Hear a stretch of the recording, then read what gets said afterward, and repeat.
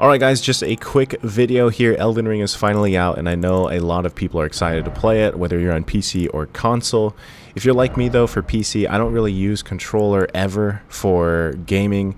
And one thing I noticed is when I launched Elden Ring right away, it was all by default in controller settings. So um, for me being not familiar with that, I didn't even know how to use the menu or go back here. And it was quite confusing. So right away, I wanted to just find a way how to switch over to keyboard and mouse and have that by default, especially for the menu. So here is a quick video on how to do that as well.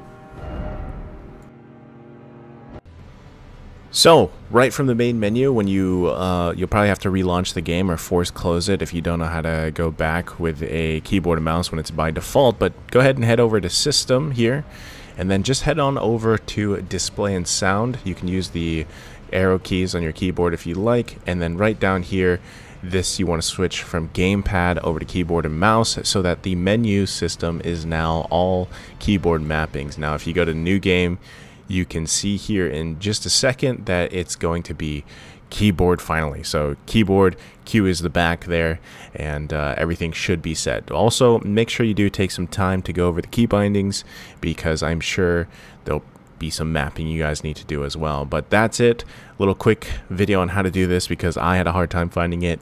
And uh, enjoy Elden Ring and have a great time. See you guys next time.